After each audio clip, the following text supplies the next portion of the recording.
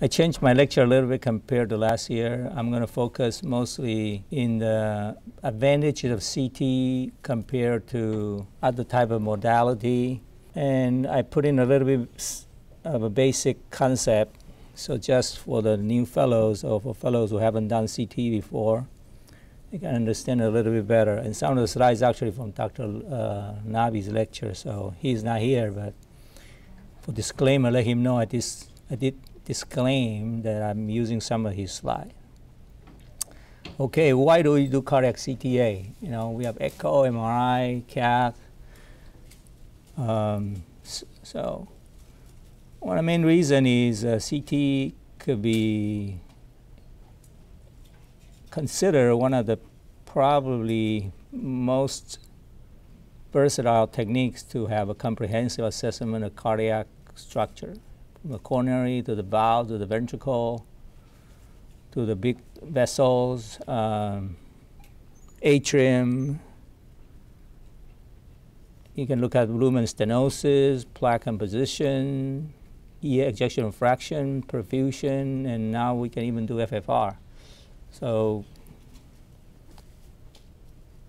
some of the future CT is the best in the field. Some of them obviously is not as good as MRI, for instance, uh, myocardial fibrosis, scar imaging, CT. Resolution is not as good as MRI, but we can, you know, if someone needs a scar imaging, hyperenhancement imaging with CT, it could be done as well. So just real basic stuff, okay? So left-hand side, this is what you're gonna see. I don't see you seeing the arrows, huh?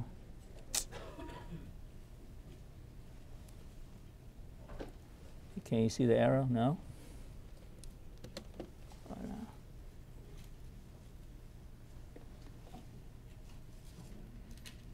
Do you guys see the arrow or not really? No, huh? Uh, okay. Do we have a pointer?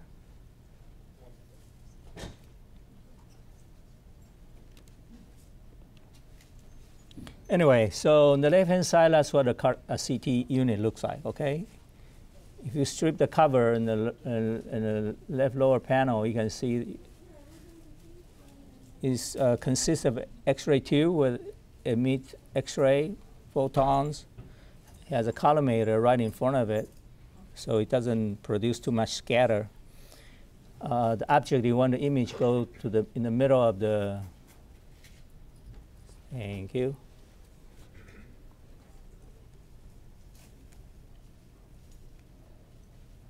Okay, let's see. I don't think it's working well here. Yeah. Okay. Uh,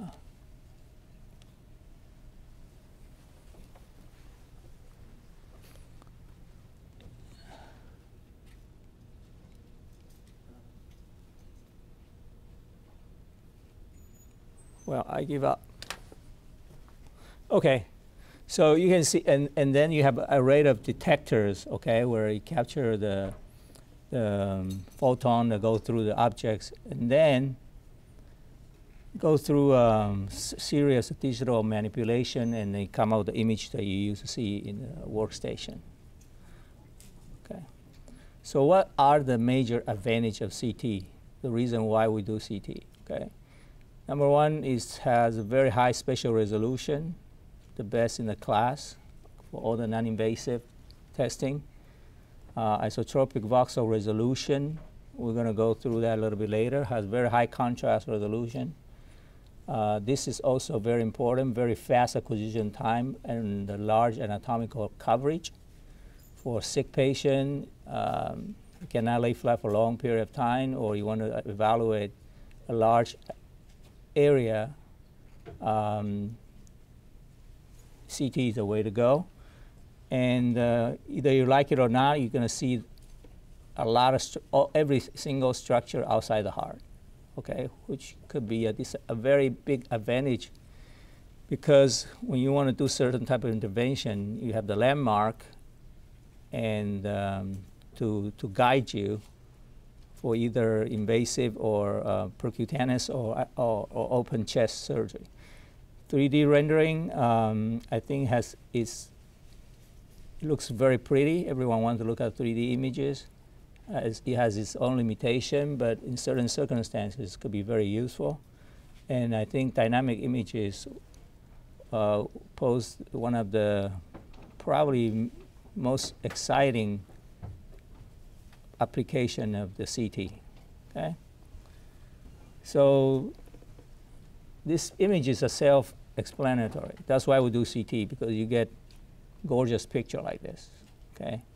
Um, just almost like the real objects. And, uh, and how do we achieve image like this? Okay? Number one, the most important thing that we do ECG gating. Okay? I don't need to explain to you what systole and diastole mean because I hope I don't have to. And how we do it is basically throughout the R interval, you break down in different part of the cardiac cycle, you know, early diastole, early systole. So when the scanner go around the heart, for each part of the heart, you want to stitch exactly the same cardiac cycle so it can match the heart shape and size. And uh, so the object will look uniform, okay? Same principle with, you know, the old 3D TEE, same principle with SPECT, and also with MRI. This is uh, ECG gating, it's a, it's a must. And you can do it with two way. Um, you know, when the, when the scanner go around the heart, you can go continuously in a helical fashion that means the uh, body, so the scanner is on the whole time as it moves through uh, the heart. Or you can do what we call step and shoot or prospective gating. Basically, scanner scan, go around the heart, stop, and then advance, stop, and then advance. So this has, this has important in terms of um, um, reducing the radiation and in, the, in case of the um, helical scan, it allows you to have multiple informa uh, information throughout the cardiac cycle, and that's uh, essential for functional imaging. Okay, this is an example why this is why we do gated study. Okay, you can see up there in the aorta, ascending aorta, non-gated study. I mean, you have what we call hurricane sign, you know, a little bit artifact because aortic root moves believe it or not, obviously. is connected to the left ventricle. And you can see with the gated study, is actually a dissection. Okay. So when you look at the literatures in the aortic dissection, sometimes it equals, you know, diagnostic accuracy of dissection using CTA is in the low 90s. I mean, those are an era when they do non-gated study. I mean, if you do gated study, I don't think you will ever miss uh, an aortic dissection. So that's why we do gated study, okay? And CT, obviously, we're using now for coronary CT to look at the stenosis. this is a patient with uh, pretty tight left main, distal left main, proximal LAD stenosis with, with corresponding cath images, okay? So this is the bread and butter, that's why we do CT. Uh, and the reason we can look at the degree of stenosis in a moving object like the coronary arteries or the heart, because the spatial resolution, among other things, the spatial resolution of heart uh, CT is, is, is, is excellent. Uh, because we give contrast, the contrast has very high attenuation compared to uh, arterial wall, so we are able to see very differential, differential very well the arterial lumen with the surrounding structure with a height with very big difference. So that's how we can see actually.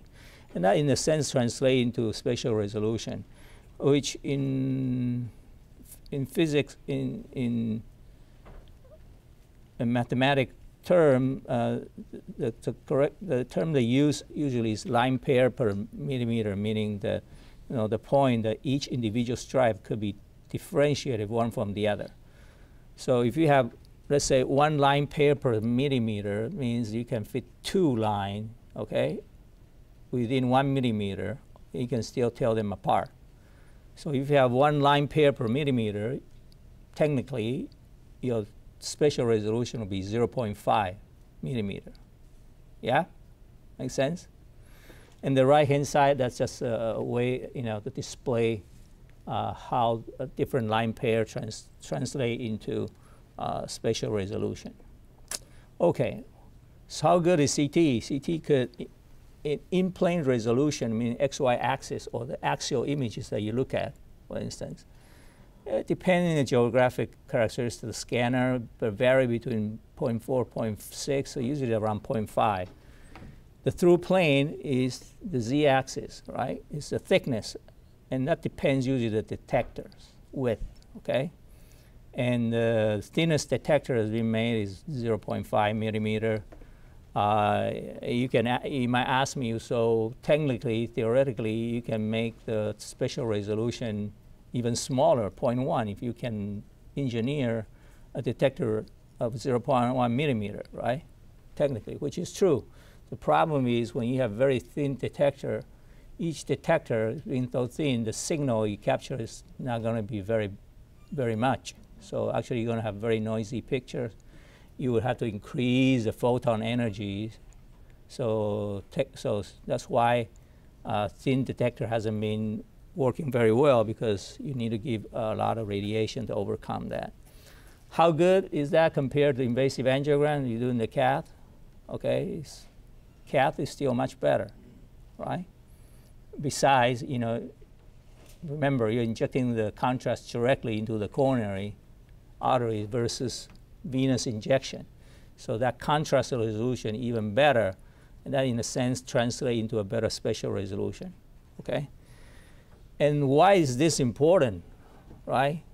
How many of you gone through the uh, CT lab? Nobody?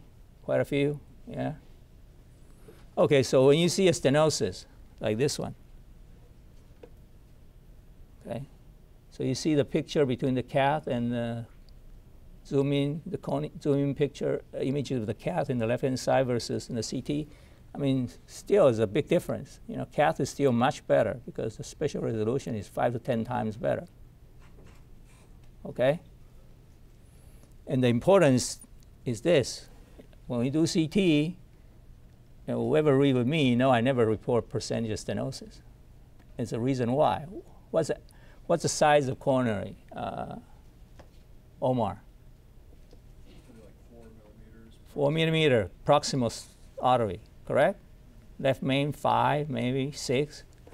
When you come down to the branches of the vessel, 1.5, 2, okay, you have 1.5 millimeters, 2 millimeter arteries, and your spatial resolution is 0.6. That means you can at most fit two to three lines in there, okay?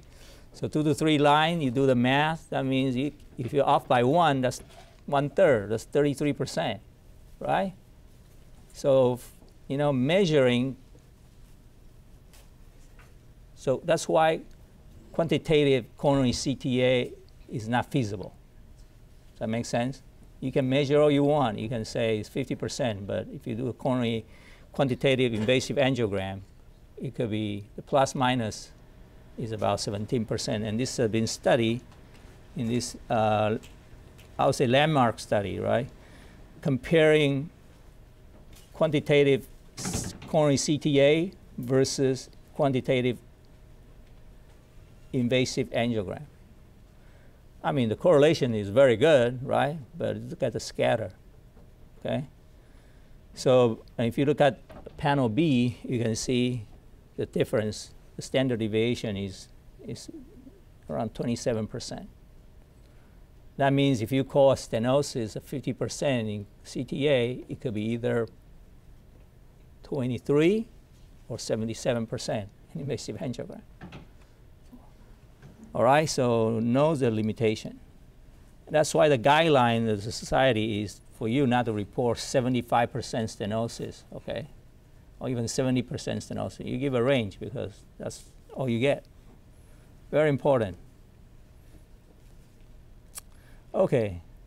Next, obviously, main advantage of CTA is it's probably about the only non-invasive technology that you can use to look at coronary plaque. You know, MRI allows you to see big vessels, you know, carotid, aortic plaque. Uh, obviously, CT can do that, uh, but for coronary, not only you can see the plaque, can kind of differentiate the, the different component of the plaque. Like in the left-hand side, you can see the very tight LAD uh, left main, uh, mostly actually it's a, it's a proximal LAD stenosis. You can see it's very dark, right, compared to the lumen. There's hypoattenuation. So that usually speak of, uh, we, we, label it as a non-calcific plaque, but if you measure the Hounsfield unit, it could be lipid rich. And further down, that's I, I believe that's a diagonal, or I think it's a diagonal. I see you can see actually have speckle of the calcium there with a little bit of a non-calcific plaque. There's a mixed plaque there. Compared to the one in the right-hand side, you know, essentially the plaque is almost exclusively calcific, okay? And how do we do that? How does CT do that, right? Uh, basically, um, CT detect the difference of attenuation between the tube and the detector, okay? And how much the energy photon, photons being attenuated depending on the composition of the material, okay? Denser material, higher the attenuation.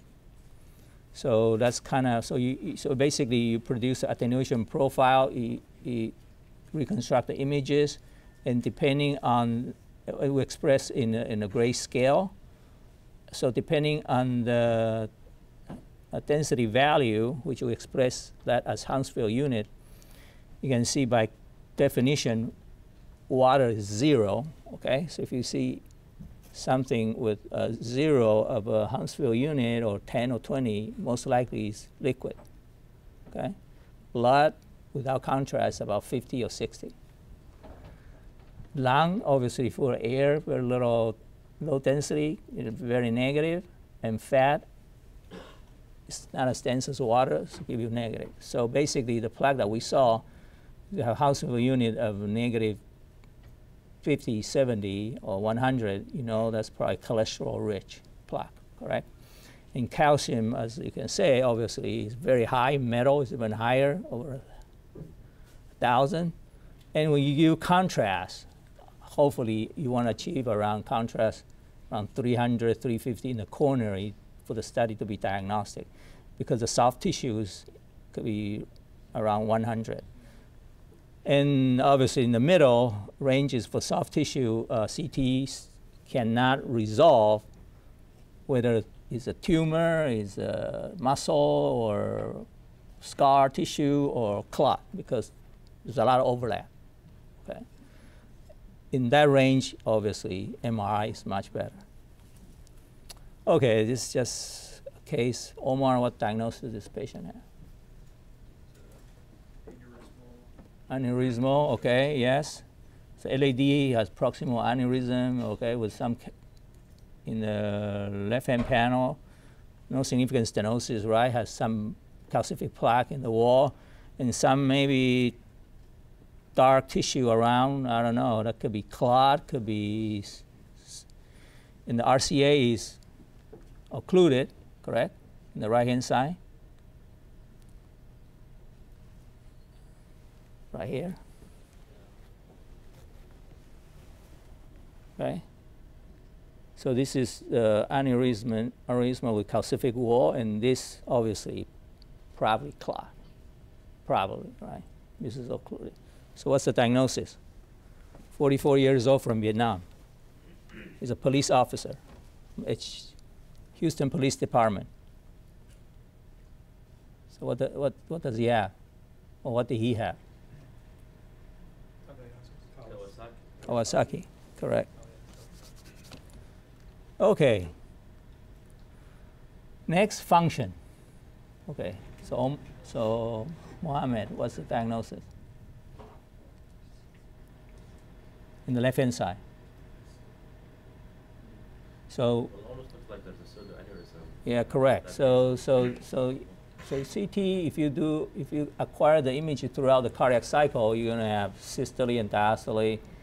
You can see the LV function, LV size, and again, you know, CT is the non-invasive technology that that achieve volume and, and EF assessment closest to the MRI for obvious reason, right?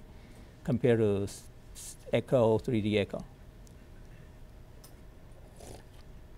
So you can see the size, EF, wall motion, assessment of the um, pseudoaneurysm in this case because if you trace that, uh, there's no pericardium around it. And obviously, right now we're doing a lot of valve imaging. Uh, it's very easy to see the valve motion. And I would say CT is, uh, again, even more better than fluoroscopy. The reason being fluoroscopy, you're not sure if you're really exactly uh, in tangential view or, or parallel view um, of the uh, leaflet opening with CT because the 3D nature of the acquisition, you can rotate and acquire exactly uh, the view you want and, and, and calculate the opening and closing angle. In this case, you can see obviously one of the leaflets is stuck.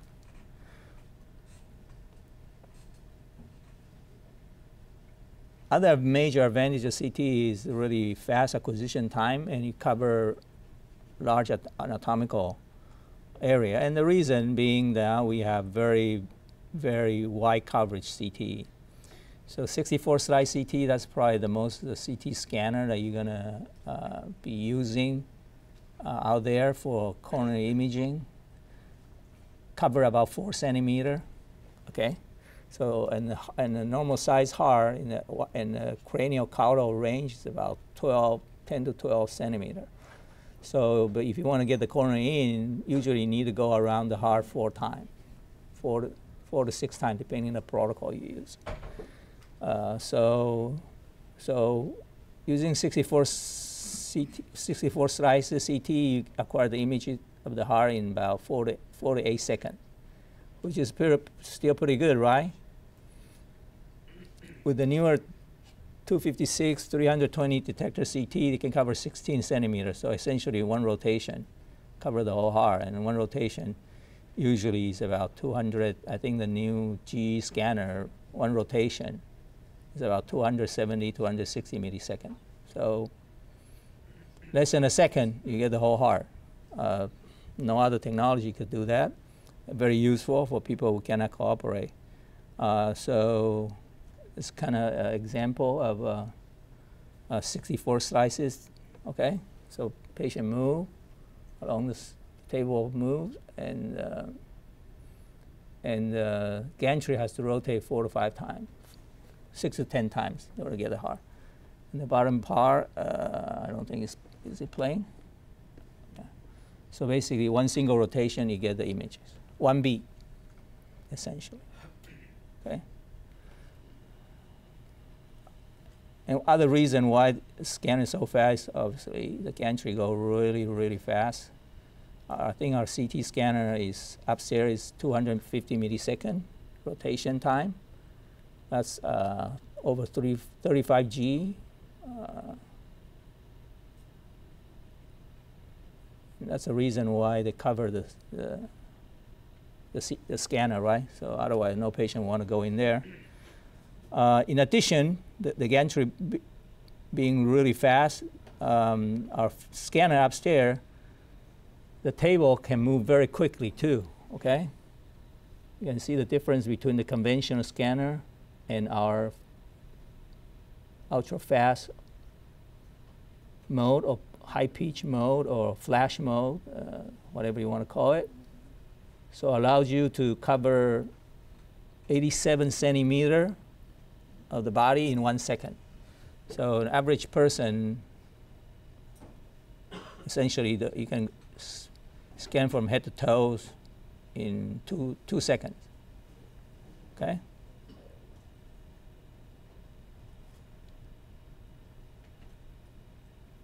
So look at the ECG. When you see the green flash, that's where the scan occurs.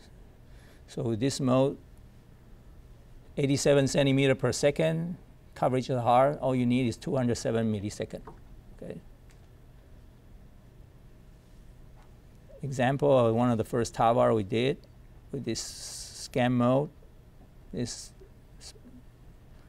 you can obtain uh, the major vessel of the body from neck down to the groin in 1.4 second. Okay, the next one we do CT because everybody want to look at picture like this, right? Because it's intuitive. You know what you're looking at. And it looks pretty, obviously. Surgeons love it.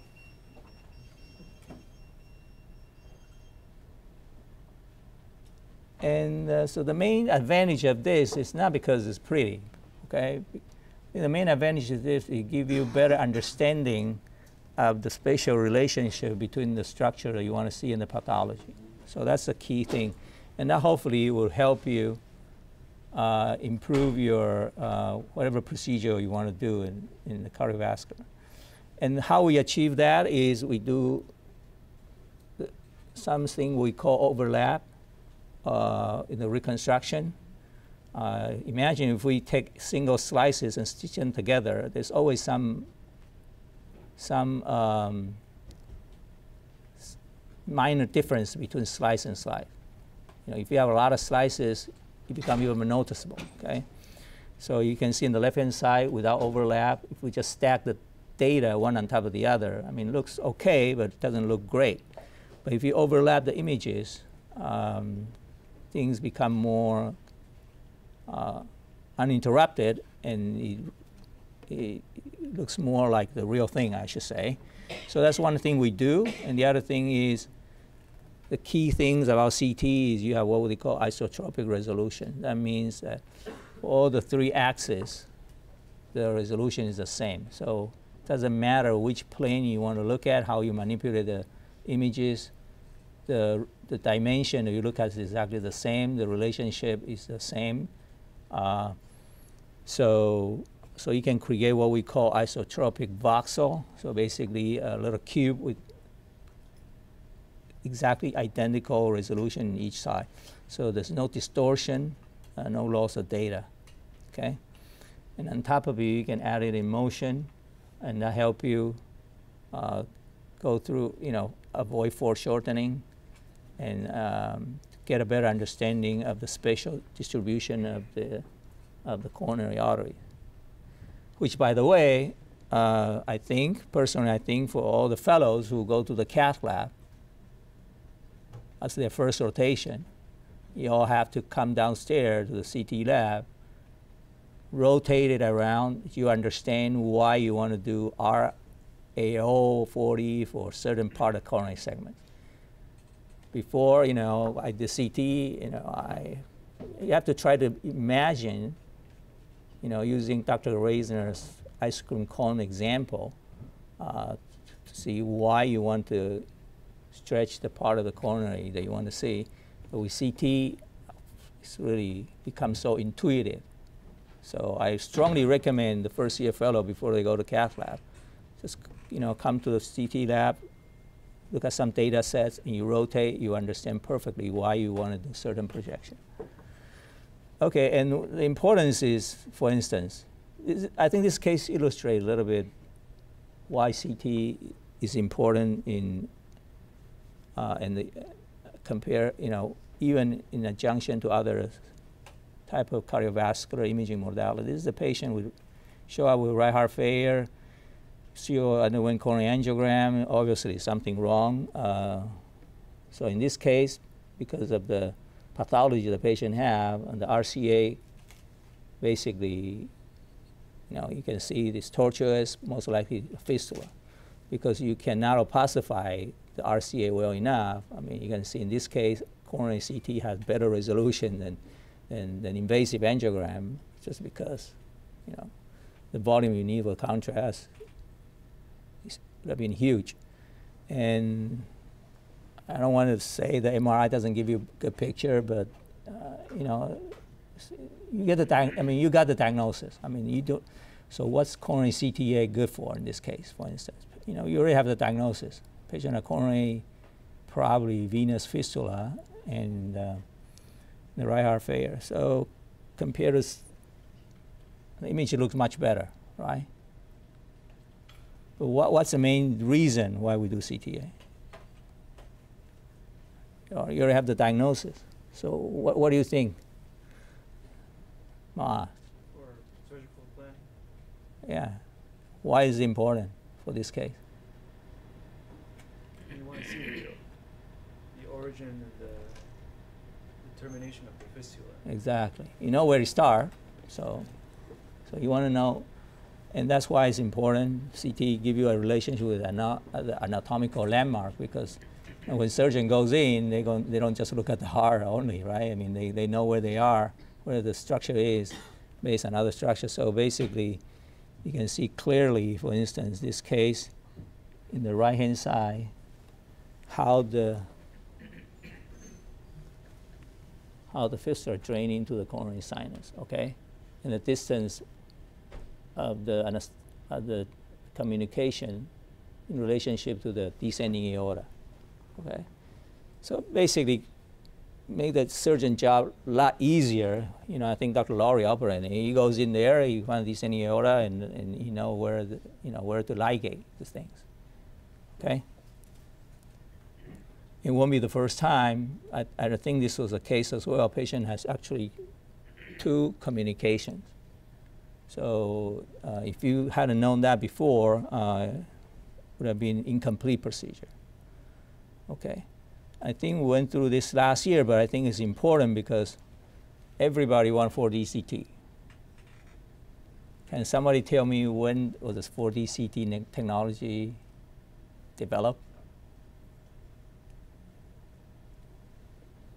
Okay, it's about 30 years ago people have done that. So it's not a new technology, but I, but I think it's a concept that you guys need to understand. What does 4D CT and people use I want dynamic CT? What does that mean? Uh, so I'm going to try to. I mean, it's, it's a lot of confusion because the terminology is uh, being used interchangeably without without specific specifically without specification in terms of what kind of protocol you want to use because you get different images depending on different protocol. So for me, dynamic images is anything that's not static. Okay. So when you inject contrast to enhance a vascular compartment, first part is going to highlight when you inject into the vein, for instance, which you know it goes to the right ventricle, right side, and then go to the left ventricle. But if you look at an organ, for for instance, if you want to look at organ perfusion per se, right, the blood come in through the arteries, go to the capillary, go to the vein, and, and get out, right? So you can construct what we call time intensity curve. You can look at, you know, in the in the left ventricle, in the myocardium, and you look at how the blood goes in and go out depending on the arterial phase, capillary phase, or tissue phase, or venous phase. An example I show you here is, for instance, the left-hand side. That's before the contrast was injected which by the way, this is a similar thing that they use to in the cath lab for, all right, for, for hemodynamic assessment. And you inject the contrast, so most, well, not exactly most of the contrast in the right side. Some contrast already arrived in the left side. And the panel in the middle, you can see the right side is completely gone. There's no more contrast, and the contrast right now mostly is in the left side of the heart. You can see even the descending aorta in the bottom of each panel, you know, gradually get brighter, right? The, bottom panel is the venous face. So basically, essentially, the contrast already gone through the body and returned to the IVC, as you can see. Uh, in, the, in the bottom, bottom uh, panel here, this structure that's highlighted here, right here, is a coronary sinus, okay? So basically, the blood has went through the vein and returned to the. So, so that's for me. That's the true dynamic images. You image the, the different phase of a, a circulation of the same organ. Different from what we do and most of the time in our lab, gated ECG gated cardiac, cardiac CTA, which is also dynamic because it moves, right? But we're not imaging exactly the same thing because we specifically image certain part of this uh, circulation. Most of the time we interest in the coronary, so we image in the arterial phase, right? The reason it moves because we image the patient in different part of cardiac cycle, systole and diastole. Okay, so this is cardiac specific. Uh, so you image it. You can image choose image the art, arterial phase. You can and you can play systole and diastole. So all you're seeing is arterial phase in systole and diastole. Or you can image when the vein, when the blood is already in the cardiac vein, you get also systole and diastole of the venous phase. I'll show you an example. Okay. So for me, 4D CT should be reserved. It will be easier to understand is you want 3D images of the CT in movement, in motion, with the time uh, as a variable. The time could be a variable, either systole okay, or it could be through the arterial venous phase. So this, so 4D CT could be either through the cardiac cycle or through the arterial venous cycle. So I'll show you some example. I think we did this exercise last year. Let me ask. Uh, Miguel. So is this is this 4D CT? Why? It's 3D and it's 3D and it moves. So why is not?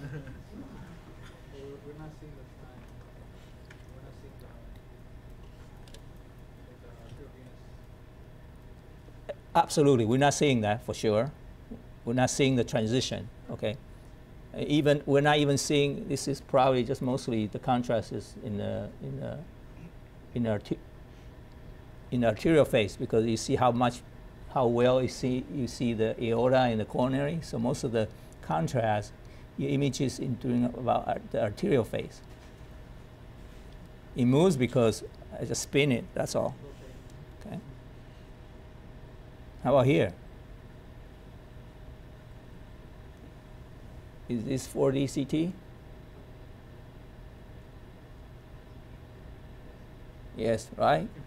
At least in the left hand side, right? So what's the diagnosis there? Is it bridge? Correct, yeah. So, see the milking effect that you see in the angiogram. In- In this case, we, we, we, we did 3D rendering of entire heart with the coronary tree, and we played through the cardiac cycle and diastole, all right? Obviously,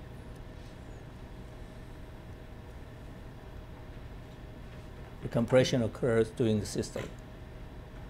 And that explains why myocardial bridge probably does not have significant pathological consequences because in diastole, lumen is widely patent. That's where the coronary perfusion occurs. Okay. That's probably the reason why you don't want to put a stent in there because imagine. How about this Up Alpana? This is 4D. It's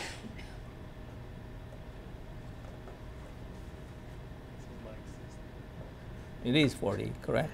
You see the, it's a 3D rendering, and you see the, how the mitral valve close and open, right? So you're seeing systole and diastole. So this is cardiac 4D CT, and that's what most of people order, right?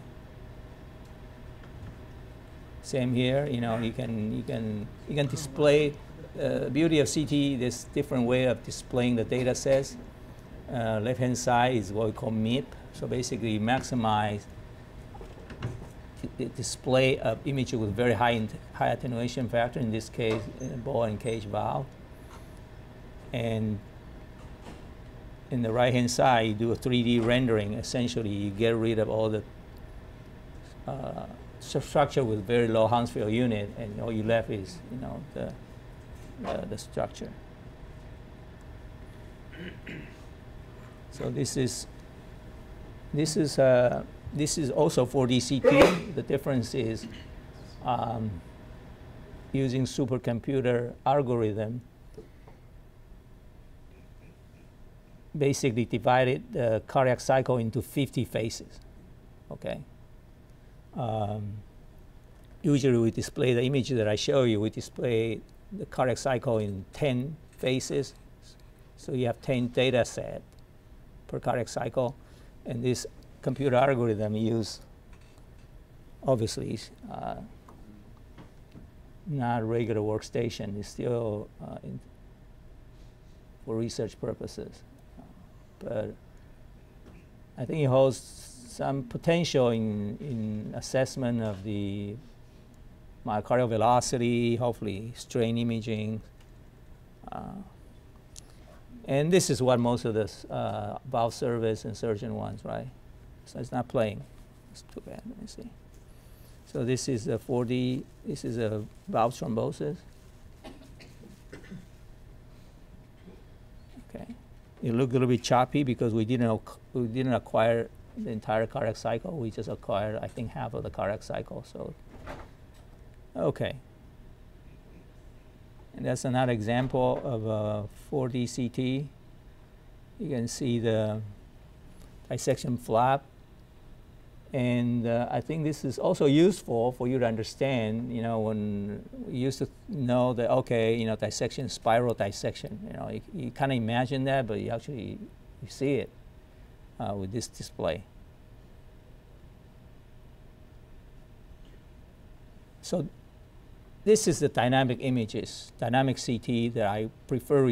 I prefer to reserve dynamic CT for this type of images. So here we're looking at uh, endoleak, right?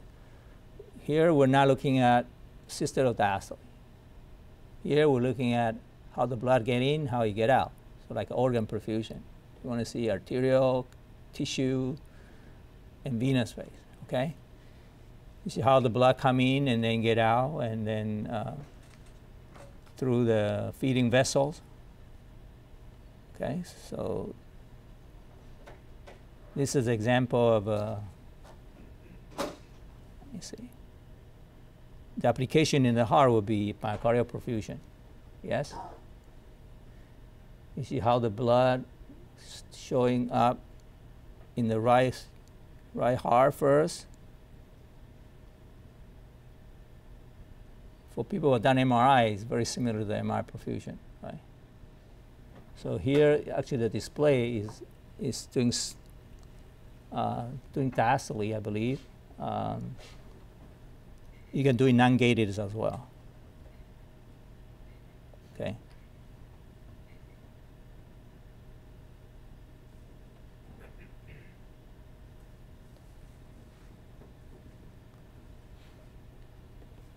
So for those who were reading with me last Friday, we're talking about, remember the Friday case that we struggle, you know, the venous delay phases, what we've seen is real, not real. So currently what we do for runoff, you know, we do, technically you do a pre-contrast scan, you do arterial phase scan, you do a delay scan, right? And the problem is you never know by the time your image is, you know, too early, too late, right? Arterial phase, you know, if the patient has se- severe disease, the normal vessel is going to fill out quickly, and the and the disease vessel might not fill up, right? Same thing with the delay. How how how how how late after you inject the contrast, you try to see the late filling of the, you know, for, from collaterals. So it's a crapshoot, right? I mean, you can scan and you can hope you get the right face, but most of the time, you know, in the runoff, the disease process is different, and every vessel is gonna, disease vessel might not feel exactly on the same time. But if you have this, basically your image is before the contrast come in, gets in, and how it gets out. So you're not gonna miss any means anything. And besides, remember the, the vessel that we saw, so, so disease, they have a lot of calcium. And you see, because of blooming artifact, you don't know if it's just you're seeing the signal from the calcium blooming or real a little bit of contrast. But with this, I mean, you can see clearly differences, right, in different phases. This is a lot of, uh, I mean, the vascular surgeon are very excited about this uh, because, but personally, peripheral vascular disease is not something I'm interested, but, and when you so disease, sure, you can pick up a little bit of vessel, you know. I, I, you've seen this before. I think it was pretty neat, right? I mean, it's nothing not related to the cardiac, but this is what people for plastic surgeon. They want to, you know, remove a, a graft, a flap. Uh, but it's very important when they move the flap, they need to make sure the feeding vessel is, is good. And where is the feeding vessel? Because if you cut it, you cut the feeding vessel, you can put the flap, but it's gonna gonna die, right?